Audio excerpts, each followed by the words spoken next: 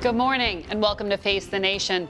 As we come on the air, the big question in our minds today is what is going on here with what seem like a deluge of potential incursions?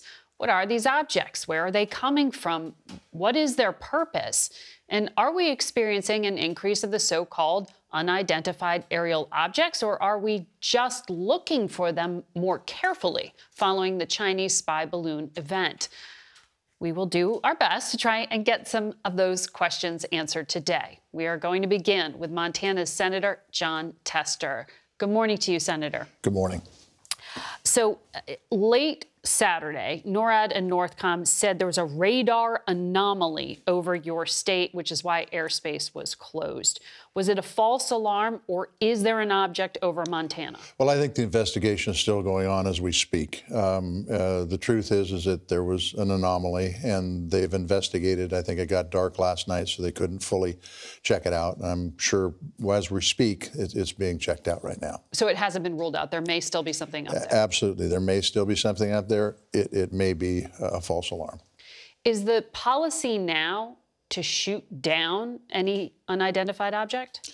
Well, I think that's a very, very good question, and that's a better question for uh, General Milley. But the truth of the matter is, is that they need to have a policy. They, being the military, needs to have a policy to recommend to the president. It's something that, uh, as, as, chairman of the Defense Committee and, and, Ranking Member Collins, we've already talked about this. We're going to make sure that there is a plan. We're going to make sure if that plan needs to be funded, that it gets funded. This is what's gone on the last, uh, you know, two weeks or so, ten days has been uh, nothing short of um, craziness. And uh, the military needs to have a plan to not only determine uh, what's out there, but determine the dangers that go with it. So you don't know what will happen to this object over Montana? My guess is it'll get shot down, but okay. the military will make an assessment as to uh, potential collateral damage, just like they did on the Chinese spy balloon. So you have spent time, as I understand it, with General Milley, uh, the chairman uh, of the Joint Chiefs, and other DoD officials. Um, could he share with you anything about this mysterious object that was cylindrical and floating over Canada or the car sized one over Alaska? Well, I think uh, you've got what he shared with me at that moment in time, and that they had they had done an, uh, an assessment of it and, and, determined that it was unmanned, and determined that uh, um, it, it should be shot down because they weren't absolutely positive that it was of no threat. So the, the, object over Alaska was near Prudhoe Bay, which is one of the most important energy fields in this country. Yes. Does that sound to you like it's espionage, state-driven espionage? Well, look, I don't think things happen by mistake when it comes to China. Uh, you think, think, this was China? I don't know. I don't know that it's China. We will find out later on uh, if, in fact, it was uh, affiliated with the Chinese Communist government or not.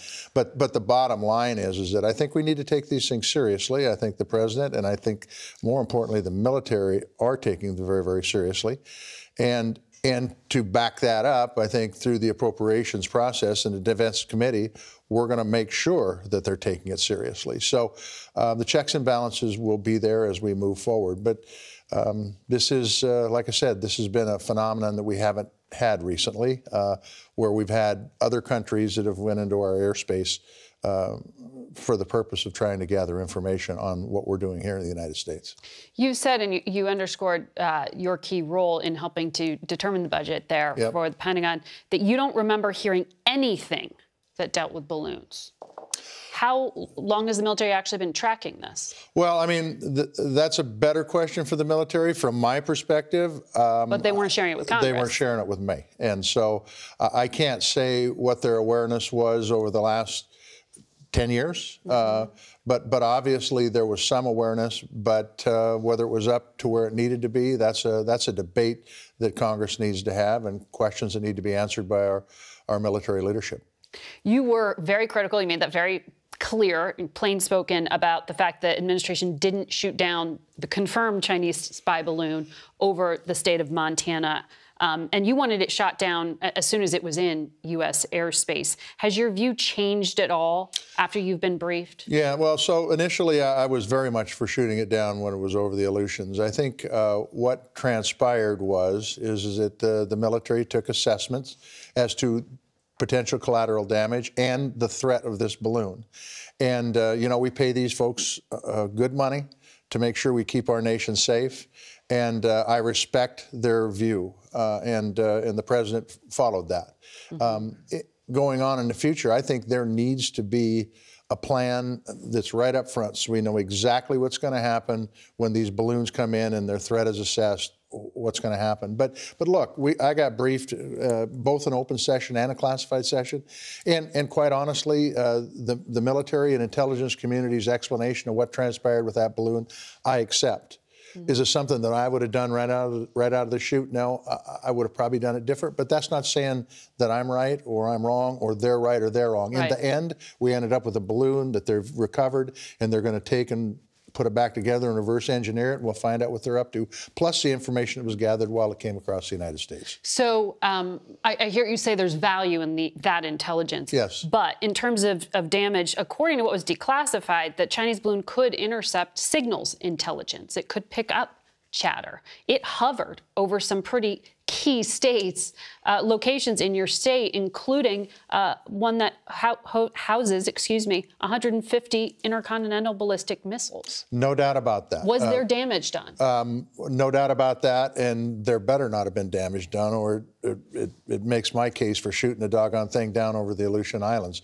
Look, we've got ICBMs in Montana. We've got 150 of them. Malmstrom Air Force Base is an incredible deterrent for this country and has been since the early 60s. Uh, they, uh, the military made an assessment that they wouldn't be able to gather the information that that the military thought was important to China. Yeah. Um, and if that didn't happen that way, somebody screwed up. You, um, on the issue of China, according to the federal government, 3% of the nation's farmland is owned by foreign investors. Yes. You have recently introduced a bill um, to try to restrict foreign ownership of farmland. I know this is an issue in a number of farming states. Why do you think that needs to be a federal ban on foreign ownership?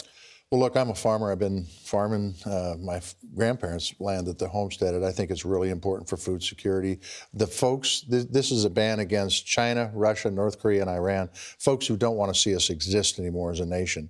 I don't think they should have any opportunity to try to dictate our food supply or Any or Chinese-owned company, period. Right. Period. Done. Because they're all connected with the Communist Chinese government anyway. And so I think it's a reasonable step to take. Senator Rounds out of South Dakota does too, so it's bipartisan.